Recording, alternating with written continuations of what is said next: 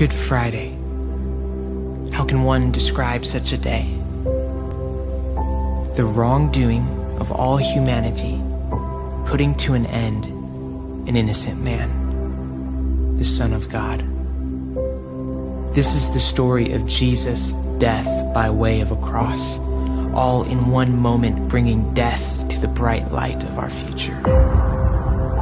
He never stopped loving us, and yet this is the incredible part of it. Our sin stopped his heart. Our sin drove the nails firmly in the hands of God. All along, these were the plans. We told ourselves that we were in control, and this was deemed sufficient for all of us. The brutal beating, the inhuman flogging, the naked humiliation. Heaven watched and saw it all. Our rebellion, our guilt, our shame, erasing the very notion of reconciling us with God, our sin and our debt, overcoming Jesus. Here is our King, obliterated. The enemy laughing, his plans unstoppable there's no longer the sound of freedom rising. Now God's people are utterly broken. Behold the chains of mortality. Yes, this is what is true. We had heard the stories of old. The lost are found, the blind can see, the weak are made strong. But now we are witnesses to this reality. God is dead. We'd almost believed there is a way of redemption. There is a life of fulfillment. There is a peace beyond understanding. Now we know better.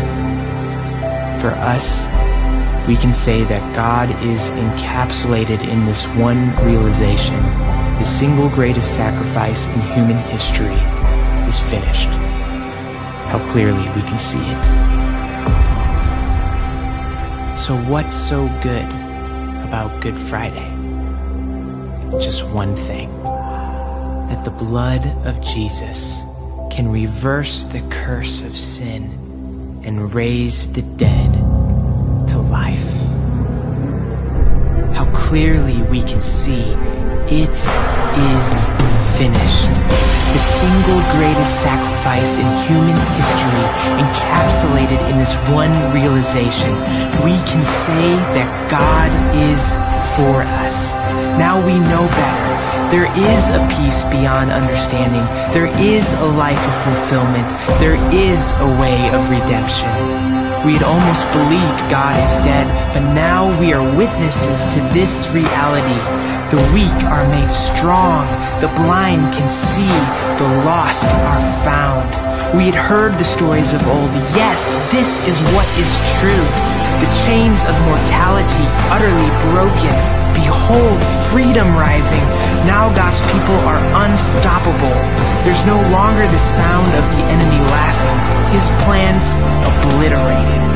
Here is our King, Jesus, overcoming our sin and our debt, reconciling us with God, erasing the very notion of our rebellion, our guilt, our shame.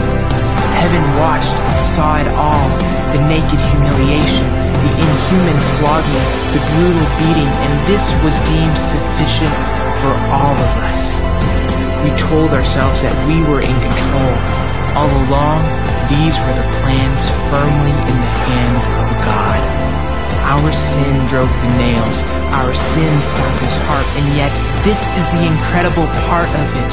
He never stopped loving us the bright light of our future all in one moment, bringing death to death by way of a cross. This is the story of Jesus, the Son of God, an innocent man putting to an end the wrongdoing of all humanity. How can one describe such a day? Good Friday.